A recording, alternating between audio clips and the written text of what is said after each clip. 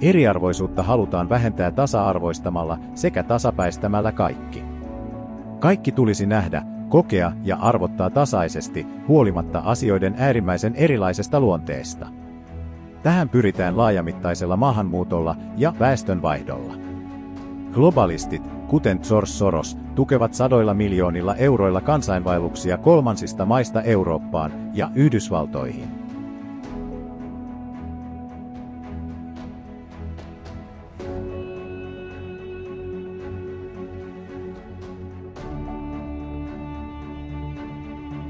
On myös syytä kysyä, edistetäänkö tällä hetkellä länsimaissa jokaista rotua, etnisyyttä, alkuperää tai seksuaalista suuntautumista tasapuolisesti. Ja jos ei, niin miksi ei?